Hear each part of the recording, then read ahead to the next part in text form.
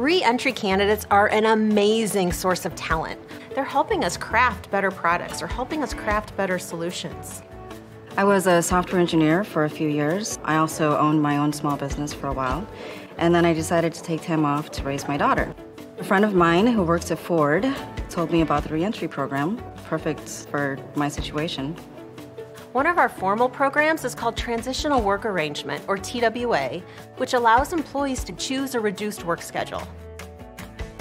Coming into a corporate atmosphere was a little nerve wracking for me. When I left the Marine Corps, I didn't have expectations for where I would end up.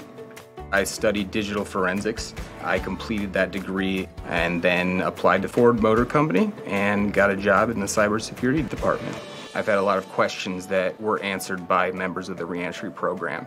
Everybody has just been so accommodating. We have 11 different employee resource groups. Our people leaders want to help you be successful, and we will work together to make that happen. I'm a mechanical engineer and I had worked in automotive. I stepped away from my career to raise our family. I was just kind of looking on the Society of Women Engineers website and I thought, wow, that would be an amazing thing for someone like me who really wanted to get back into engineering. So I applied and here I am. Bringing together people with diverse backgrounds, thinking, and experiences lead to greater innovation and company profitability.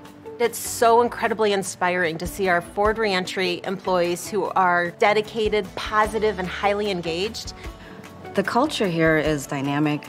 It's open, friendly. Communication is easy with everybody, including management. It's been great. I am fortunate to work with a group of people, very talented individuals. I love it so far. My life is amazing. The reentry program allowed me to have time to ramp up. I love working at Ford.